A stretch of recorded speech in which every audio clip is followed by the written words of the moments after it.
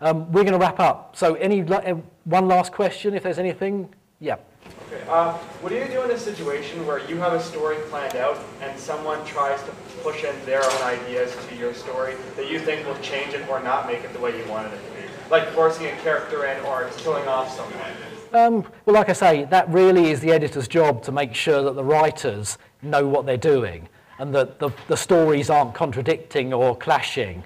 So, what I mean is, what do you what do you do when someone tries to interrupt a story you already have established? I would I would just open up a dialogue, you know, you know, and either modify my story if it suits IDW better, or you know they would modify theirs. So you know it's just opening a dialogue really.